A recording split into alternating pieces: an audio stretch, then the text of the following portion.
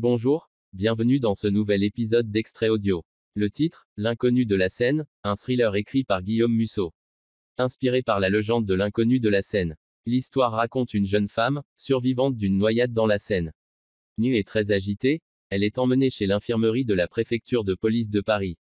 Mais très vite après, elle arrive à s'y échapper. Les investigations commencent alors. Après identification, la police affirme qu'il s'agit bien de Milena Bergman, une célèbre pianiste, qui est supposée être morte d'un crash d'avion il y a plus d'un an. Deux hommes, un flic et son ancien fiancé, vont tenter de mener l'enquête et espérer éclaircir le mystère derrière. N'oubliez pas, l'audiobook est offert juste en suivant les étapes dans le tuto dans la suite de la vidéo. Comme d'habitude, écoutons d'abord un petit extrait. Plusieurs mois, elle traversait un tunnel sans fin. Elle se massa les paupières et descendit sa vitre. Au contact de l'air frais, elle voulut croire que l'énergie lui revenait et provoquer un déclic salutaire. Son destin s'écrirait désormais loin de la police nationale. Je vais démissionner, patron, lança-t-elle en se redressant. C'est mieux pour tout le monde. Roxane ressentit une certaine libération en prononçant ces paroles. Elle qui avait toujours vécu pour son métier, se retrouvait aujourd'hui dans l'incapacité de l'exercer correctement. Comme beaucoup de ses collègues, son malaise s'était au fil du temps mué en véritable désarroi. En France, et plus spécifiquement en région parisienne, la haine anti-flic était palpable. Partout. Suicidez-vous. Suicidez-vous. Elle pensait au slogan ignoble lancé aux policiers dans les manifs. C'est maintenant, songea-t-elle en respirant plusieurs goulets d'air pollués. Maintenant que je dois partir. Un engrenage mortifère s'était mis en branle, qui avait conduit les gens à détester ceux qui étaient censés les protéger. On tendait des traquenards aux flics dans les cités, on assiégeait leurs commissariats, on les lynchait dans les manifestations, on leur tirait dessus au mortier en plein Paris. Leurs enfants allaient à l'école, la peur au ventre.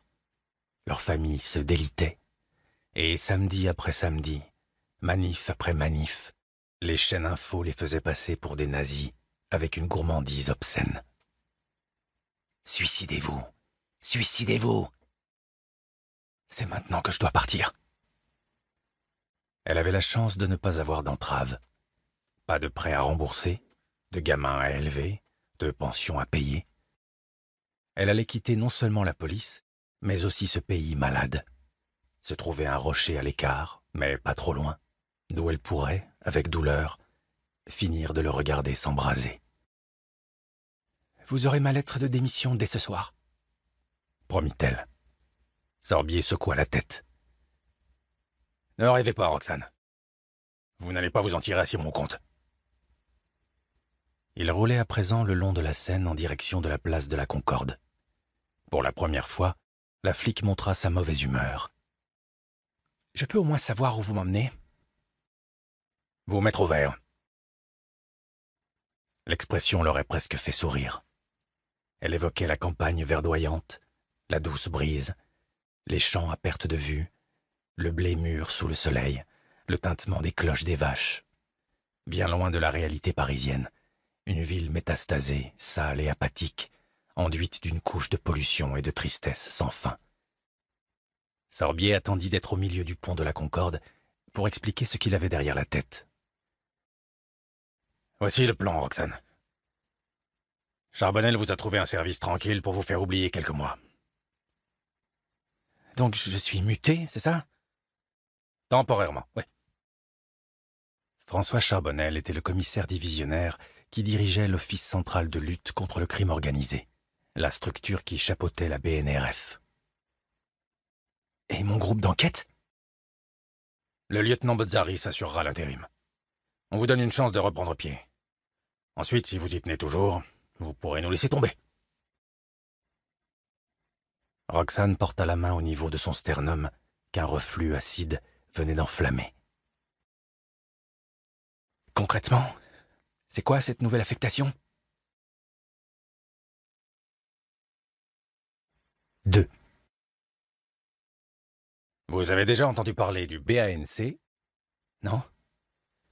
Pour être franc, jusqu'à ce matin, moi non plus. Sorbier avait au moins l'honnêteté de ne pas chercher à enjoliver sa proposition. Les essuie-glaces peinaient à chasser la pluie qui noyait le pare-brise. Rive gauche, la bagnole s'était engluée dans les embouteillages qui paralysaient le boulevard Saint-Germain.